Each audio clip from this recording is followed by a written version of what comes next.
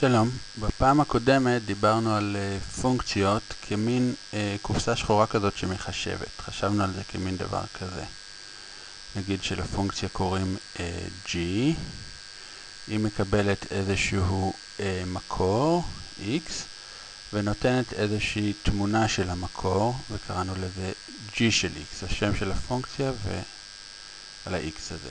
אז אם לדוגמה החוק התאמה שלנו היה g של x שווה ל-x בריבוע מינוס 3, אז g של נגיד 2 יהיה, כלומר אם אני נותן פה 2, אז זה 2 בריבוע זה 4 פחות 3 זה יהיה 1. אז על 2 אני נותן 1 וכולי. ככה התייחסנו לזה. עכשיו, אה, מתמטיקאים אוהבים לדבר על אה, אובייקט פונקציה קצת אחרת. הם, מת... הם מתכוונים לאותו דבר, אבל הם מדברים על מה שנקרא התאמה. התאמה. אז אה, ההגדרה המקובלת לפונקציה זה, זה משהו כזה. פונקציה היא, אה, בואו נכתוב כאן הגדרה. הגדרה. הגדרה המקובלת במתמטיקה. פונקציה היא התאמה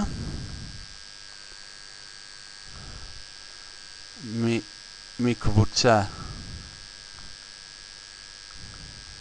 שנקראת, או נכתוב ככה, מקבוצה של מקורות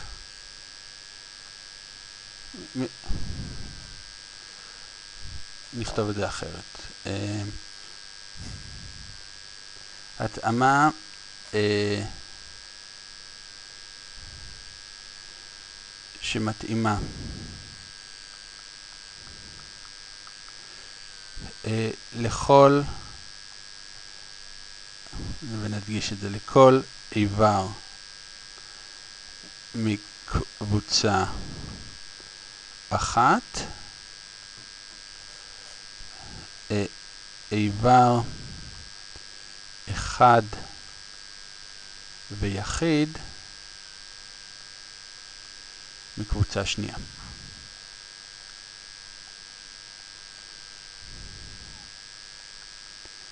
אה, ונדגיש את זה, איבר אחד ויחיד.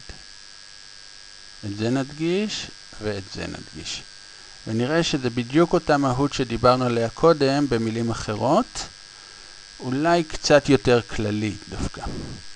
אה, אז בואו נראה, נזיז את זה קצת, ונראה מה ההגדרה הזאת בעצם אומרת לנו. אז יש לנו שתי קבוצות. קבוצה אחת של, אה, שיכולה להיות של כל דבר, אבל אנחנו עכשיו נחשוב על מספרים. לקבוצה הזאת אנחנו נקרא תחום. ולכל איבר בקבוצה הזאת, לכל מספר נקרא מקור. אז זה קבוצ... פונקציה התאמה, ש... התאמה שמתאימה לכל איבר מקבוצה אחת, זאת הקבוצה האחת. ועכשיו מדברים על הקבוצה השנייה שלה קוראים אה, טווח. זאת הקבוצה שנקראת טווח.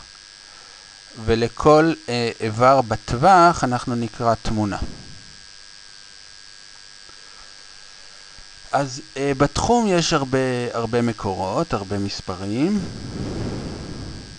כל מיני מספרים, נגיד uh, אחד מהם זה 1, השני זה 17, השלישי הוא מינוס 2.5, מלא מספרים, כל מיני, ואולי נחליף כאן צבע רגע, uh, וכאן uh, בעולם הזה יש uh, תמונות. אז זה תמונה אחת, תמונה שנייה, ובמקרה שלנו גם התמונות הן מספרים, אז זה נגיד 3, זה מינוס 2 וכולי. עכשיו, מה, מה G עושה? G היא התאמה. היא יודעת לכל מקור, לכל מקור, להתאים תמונה, איבר אחד ויחיד מהקבוצה השנייה. כלומר, למספר 17 היא תתאים אה, איזושהי תמונה. בואו בוא נחשוב, במקרה שלנו, היא תתאים ל-17, טוב, 17 זו דוגמה שפחות נוח לחשב, אז בואו נראה את 1. את 1, 1 בריבוע פחות 3 זה מינוס 2. אז הנה, בדיוק יש לנו. אז 1 מתאים למינוס 2. והרבה הרבה הרבה חצים כאלה שמתאימים. עכשיו, למה אמרתי שההגדרה הזאת היא קצת יותר כללית? כי היא מדברת על כל דבר, על כל ישות שמתאימה, הקבוצה של התחום של המקורות יכולה להיות מסוגים לגמרי כלליים, כלומר זה יכול להיות בכלל לא מספרים, זה יכול להיות כל מיני אובייקטים אה, מתמטיים מאוד משונים כמו מטריצות ופונקציות בעצמם, וזה יכול להיות גם תפוזים וקלמנטינות. אז אה, בואו נסתכל על אולי דוגמה מהחיים שהיא, לא, שהיא פונקציה לא של מספרים. אה, אולי בצד אחד היא תהיה של מספרים. רגע, אני אחליף עוד פעם צבע. אה, ניקח את הפונקציה הזאת. אה, פונקציה שמשתמשים בה במשרד הפנים, שמצד אחד יש אה, תעודות זהות בעצם. נגיד, כאן יש... אה, 1, 2, 3, 4, 5, זה תעודת זהות אחת. יש כאן uh, מלא מספרים, יש במדינת ישראל איזה משהו כמו קצת פחות משבעה מיליון מספרים כאלה. מספר, מספר, זה יהיה התחום שלי. אז התחום יהיה מס, uh, כל מספרי תעודות הזהות, והטווח שלי יהיה בכלל לא מספרים, יהיה אנשים. Uh, אז הנה איש אחד, והנה איש שני ואיש שלישי. עכשיו, אה, זה הטווח, והפונקציה שמשרד הפנים אה, משתמש בה, וגם אנחנו בתור אזרחים, זה המיפוי, ההתאמה, בין אה, מספר תעודת זהות לבן אדם ש... שזאת התעודת זהות שלו. אז התעודת זהות הזאת שייכת לבן אדם הזה. התעודת זהות הזאת שייכת לבן אדם הזה. לכל, בן אדם, לכל תעודת זהות יש בן אדם אחד ויחיד. אוקיי, אז זו דוגמה שהיא אה, לא לגמרי מספרית, כי פה יש אנשים. אז פונקציה זה באמת מושג מאוד מאוד כללי. אה, אז בואו נסתכל עוד קצת על העניין הזה, על ההגדרה הזאת. אה, פונקציה היא התאמה שמתאימה לכל איבר מקבוצה אחת, איבר אחד ויחיד מקבוצה שנייה. מה שמאוד חשוב לשים לב זה שההגדרה הזאת היא לא סימטרית. כלומר, לתחום ולטווח יש uh, תפקידים שונים. Uh, למה אני מתכוון? אם זה התחום שלי, וזה הטווח, אז לכל איבר פה חייב להיות תמונה. אסור לי שיהיה לי פה מישהו אחד שלא תהיה לו תמונה. לכולם צריכים להיות תמונות. אבל לא אמרו לי שלכל uh, תמונה צריך להיות מקור. בהחלט יכול להיות שזה יישאר פה uh, יתום בלי, בלי uh, מקור, אבל אסור לי שיהיה לי מקור בלי, בלי תמונה. אז זה קשור ל, לקול הזה. אז כמו שאתם רואים, הלקול הזה כבר מגדיר איזשהו חוסר סימטריות. אבל יש עוד, עוד חוסר סימטריה, והיא פה, שלכל מקור מתאים איבר אחד ויחיד. כלומר, אסור לי שלמקור מסוים יהיה לי פתאום שתי תמונות. נגיד, אסור לי מצב כזה. אם זה התחום וזה הטווח, אסור לי בשום אופן שלמקור הזה פתאום יהיו שתי תמונות. אה, זה ממש אסור. אם יש דבר כזה, זה לא פונקציה הדבר הזה. אבל המקרה ההפוך הוא דווקא כן אפשרי. כלומר, בהחלט יכול להיות לי אם זה התחום וזה הטווח, יכול להיות לי מצב שבו לשני מקורות יהיה אותו, אותו אותה תמונה. אפילו הפונקציה הזאת שאנחנו לקחנו, ה-g הזאת, היא בדיוק מקרה כזה. בואו נחשוב למה. בעצם x בריבוע פחות 3. בואו נכתוב את זה שם. בואו נחשוב על זה רגע.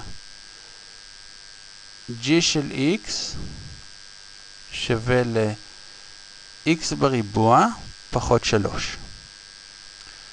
אז בגלל ה-x בריבוע, כל מספר והמספר הנגדי לו בעצם ייתנו לי את אותה תשובה.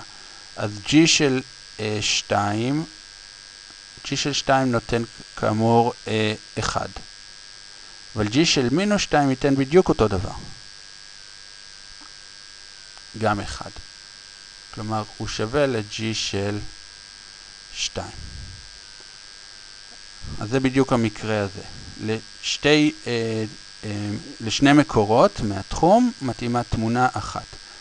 דווקא בדוגמה של התעודות זהות, זה לא היה המקרה. כלומר, לכל תעודת זהות יש בן אדם אחד ויחיד, אבל לא קורה שלשתי שתי תעודות זהות שונות, שני מספרים שונים של תעודות זהות, יהיה אותו בן אדם, כי אז הפונקציה הזאת לא תהיה טובה בשביל המטרות שלשמם היא אה, נוצרה. פונקציה כזאת, אגב, נקראת פונקציה חד-חד, אה, שבדיוק המקרה הזה לא קורה בה. לכל אה, מקור יש תמונה, ולכל תמונה, אם יש לה מקור, כל איבר בטווח, אם יש לו אה, מקור, אז הוא יחיד. זה גם משהו שאפשר ככה להפוך את הפונקציה. אפשר לכל בן אדם שרואים ברחוב, לשאול מה התעודת זהות שלו. פה, אם אני אשאל ככה את, ה, את, אה, את 1, זה 1 הרי, וזה 2, אה, וזה מינוס 2. נשאל את 1 אה, מי המקור שלך, אז הוא לא ידע להגיד לי, בגלל שיכול להיות לו שני מקורות. אז הדבר החשוב להבין פה זה את, ה, את ההגדרה הזאת באמת. פונקציה היא התאמה שמתאימה לכל איבר מקבוצה אחת, איבר אחד ויחיד מהקבוצה השנייה. והתמונות האלה מסבירות את זה. כלומר, בייחוד זה. זה לא, וזה בהחלט כן.